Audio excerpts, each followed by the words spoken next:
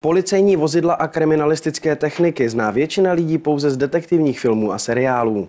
Díky akci Orlicko-Ústeckého územního odboru policie České republiky se návštěvníci se zmiňovanými prostředky mohli seznámit na vlastní oči.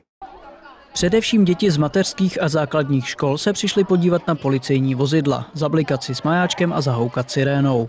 Zájem byl také o automobil vybavený radarem pro měření rychlosti. Příchozí měli možnost zavítat i do ateliéru kriminalistických techniků a vidět ukázku snímání daktyloskopických stop. K vidění byl i služební pes, kterého si mohli zájemci za asistence psovoda pohladit. Testy a kvízy byla u malých návštěvníků prověřena jejich znalost dopravní výchovy a bezpečnosti silničního provozu.